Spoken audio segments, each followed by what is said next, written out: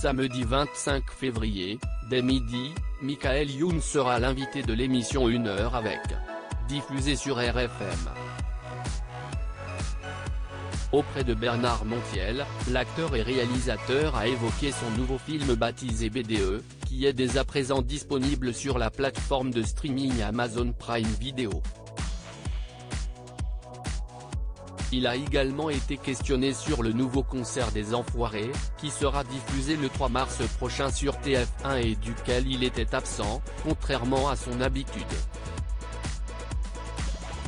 Malheureusement, je devais terminer mon film, donc je n'ai pas pu y participer, et à chaque fois ça me fend le cœur, a affirmé Michael Youn, en précisant qu'il regarderait, T, l'émission avec beaucoup de plaisir pour retrouver tous, S, et copains.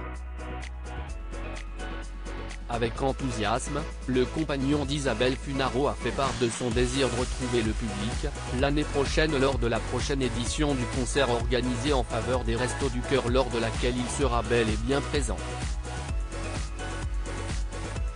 Le cinéaste et humoriste de 49 ans a ainsi précisé que les événements ont fait qu'il n'a pas pu chanter avec les autres membres de la troupe des Enfoirés, en déplorant le fait que, parfois, les gens qui s'occupent de l'organisation du spectacle, note de la rédaction, ne sont pas toujours très compréhensifs vis-à-vis des indisponibilités professionnelles des artistes. Supérieur à supérieur attention ou amitié, Muriel Robin, Michel Larocque, Pascal Obispo.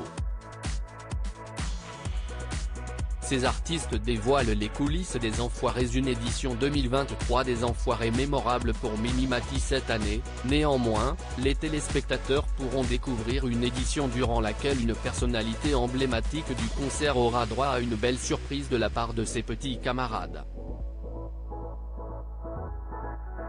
En effet, Mimi Mati, qui avait eu des soucis de santé l'an passé, a fait son retour sur scène pour l'édition de 2023. Patrick Bruel et les autres personnalités de la troupe ont donc marqué le coup en lui réservant un accueil digne de ce nom. Un moment qui sera dévoilé sur la une dans une semaine. L'interview intégrale de Michael Youn par Bernard Montiel est à écouter ce samedi 25 février, dans une heure avec, sur RFM, dès 12h. Article écrit avec la collaboration de 6 médias Crédit Photo, Capture Écran RFM.